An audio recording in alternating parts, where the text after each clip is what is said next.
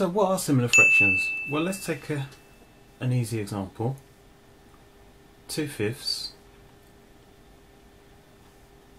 plus 1 fifth or 2 over 5 plus 1 over 5. Now do you notice anything similar between these two fractions?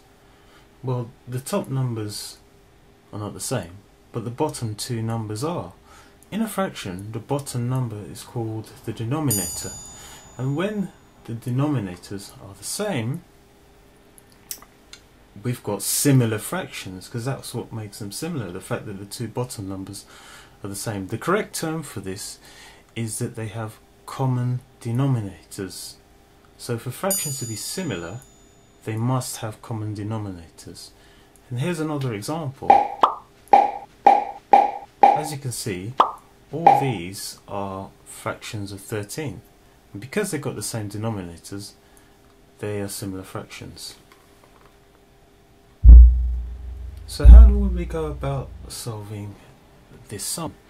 Well, when you're solving fractions with common denominators, that is, similar fractions, there are two rules to remember. The first rule is, whenever you're adding fractions with common denominators, do nothing to the denominator. You don't have to do anything with it because it's all they're all the same. All you do is you put it over the other side and there's half of your calculation done. The second rule is that you add the top two numbers.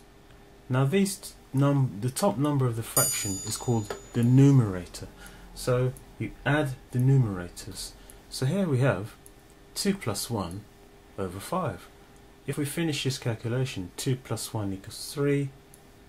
That's your numerators done. And then, you, then your denominator is 5.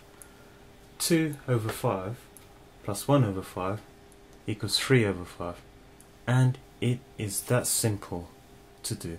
So just remember those two rules. When they have a common denominator, you don't do, do anything to the denominator, you just move it over. And the second rule is you add the numerators. Well, in the next video I'm going to set up a few examples for you to try and see if you've, you're able to master this quite simple way of adding fractions. Hope this was helpful.